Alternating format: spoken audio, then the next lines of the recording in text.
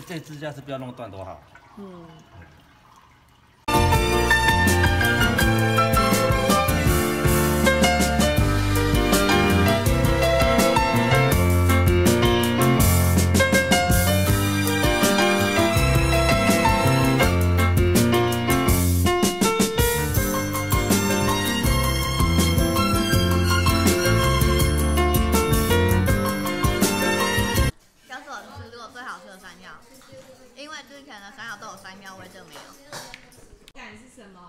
山药不会，山药不会分离，但是吃起来有够像马铃薯的。哦，吃起来像马铃薯一样绵绵密密的吗？对。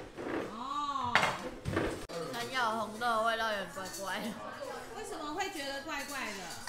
因为山药有红豆的味那道。你之前吃的山药是什么味道？山药味，山药味是什么味道？山药味啊！山药味。要是我不喜欢的味道，山药味我不喜欢，山药味我很喜欢，那今天加了红豆之后，吃起来感想比较好吃。比较好吃，有有点怪怪香味吗？哦，好。